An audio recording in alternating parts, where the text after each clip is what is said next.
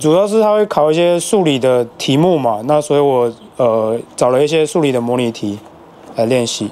书桌上全都是考试的准备资料。王先生现在每天都在埋头苦读，为了追寻自己的梦想当技师。但其实他毕业之后，先是担任工程师一年多的时间，只是工作状况不如他的预期。经过思考之后，决定走出舒适圈。主要转折原因就是有两项嘛，一个就是公司不太满意公司目前现状，跟一个。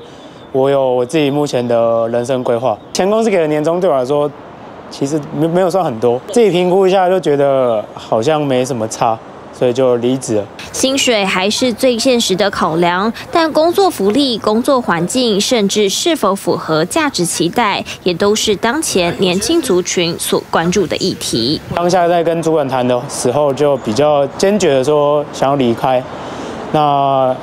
跟主管谈完后，大概一个月左右就离开了，薪水是越多越好。那再来一个就是发展性啊，对，毕竟我觉得现在我大概二十七岁，所以对未来还有很长一段时间。那我希望我未来的发展的空间越大越好。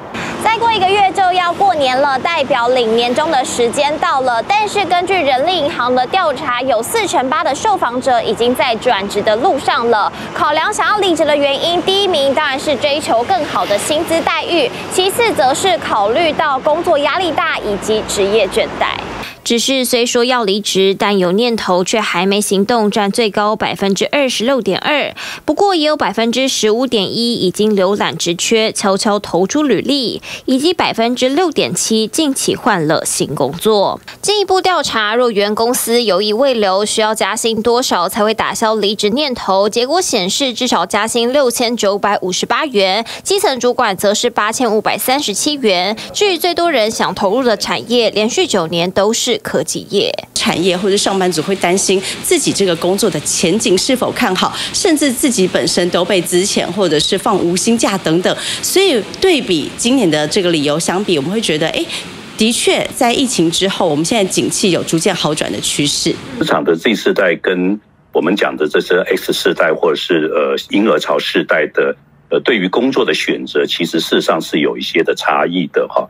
他们会重视这个工作本身是不是对他们的能力的提升或职业的发展会产生正面的效益啊？如果不会的话，呃，他们可能就会选择离职他就啊。当然，呃，这些职场的 Z 世代或是比较年轻的这些 Y 世代，他们大概也非常重视，就是。工作跟生活能够呃趋于平衡，而观察今年观望的比例比前两年疫情时还要高。毕竟在年前裸辞工作，最担心会遇到哪些状况？调查中发现，最忧心经济是否能够负担，占了百分之五十四点六。同时也不知道这空窗期会多久，而也有百分之三十二点七认为工作选择少。这些都是上班族衡量在农历年前换工作所面临到的风。险在今年呢，景气是比较复苏的，所以很多上班族还是会想说，先观望一下年终奖金的状态。如果领的不够好，可能才会萌生转职的念头。通常这个年终奖金反而是科技业最大包的奖金，所以很多科技业的人，他们不一定会等到年尾，反而会考虑到领完年终的这个奖金之后，再做转职的观望。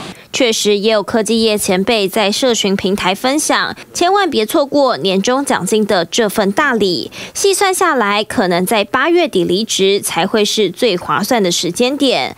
同时，碰上大学毕业季，企业通常也会试出更多的职缺。各行各业有不同特色和薪资福利，是否转职原因百百种，不外乎都想追求自己最满意的工作状态，该如何取舍，得先深思熟虑。特别新闻华政森周宣台报道。想看最完整的新闻内容，记得下载 TVBS 新闻网 APP。